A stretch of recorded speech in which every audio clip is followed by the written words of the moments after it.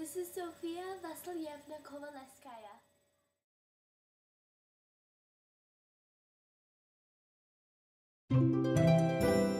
I was born in Moscow in 1850 on January 15. I am the second of three children. I took an interest in mathematics at a very young age. My father didn't approve of my studying mathematics at first, but I continued to read and study the subject behind his back.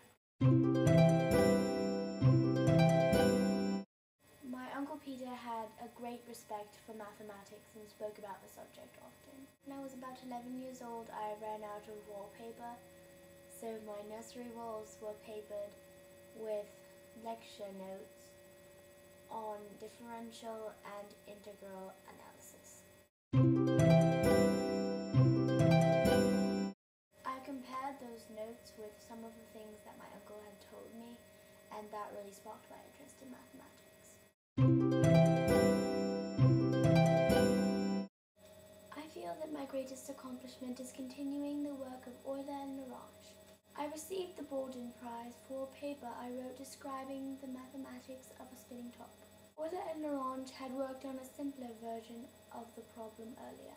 I really feel that I contributed to something that other mathematicians could find useful.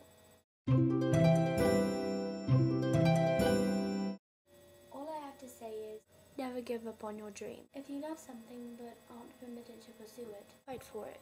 If you love it and have a talent for it, there is a good chance that's what you'll do. Do whatever you have to do to get to your destination.